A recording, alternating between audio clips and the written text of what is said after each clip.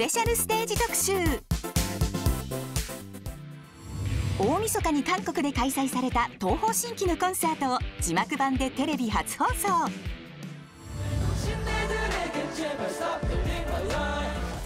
2018年に韓国で開催された豪華アーティスト大集合の SBS スーパーコンサートを日本初放送。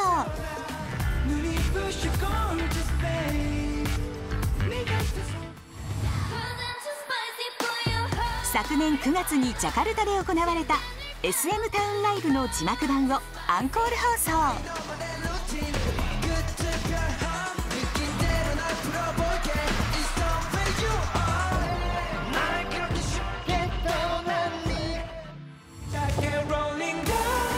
さらに2022年に東京で開催された SM タウンライブもアンコール放送。